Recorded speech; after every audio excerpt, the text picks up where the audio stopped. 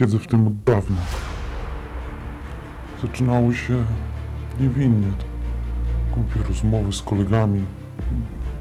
Głupie filmiki na YouTubie. Czuję się okropnie. Wstydzę się siebie. Codziennie chłopczywie siedzę w pornografii. Kiedy to się skończy?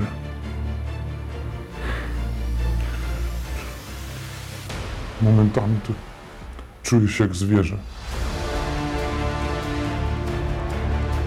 Od kilku miesięcy boję się strasznie. Boję się głodu, boję się HIV-a, a biorę codziennie. Różne, amfę, heroinę, LSD, co popadnie, gdzie się znajdzie. Okradam starszych. Nienawidzę tego życia, tego mego życia, nienawidzę. W naszym domu panuje totalny chłód, totalne niezrozumienie. Nienawidzę żony. Ona chyba mnie też. Totalna porażka. Wybieraliśmy się z największą miłością.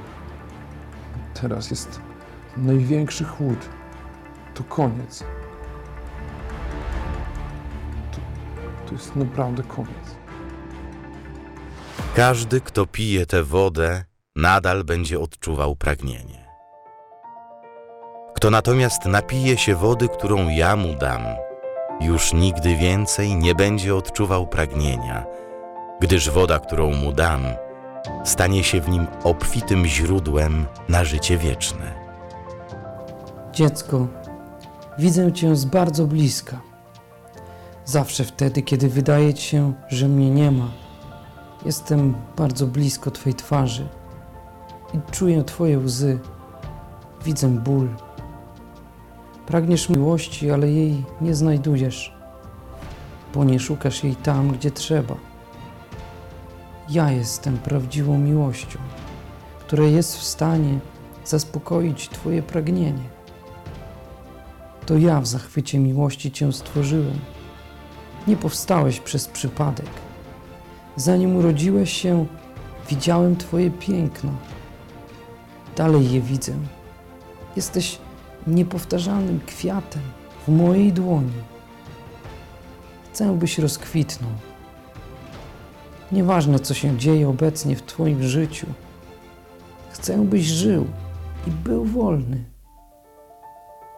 Pozwól mi teraz zalać Cię morzem mojej miłości. Pozwól mi.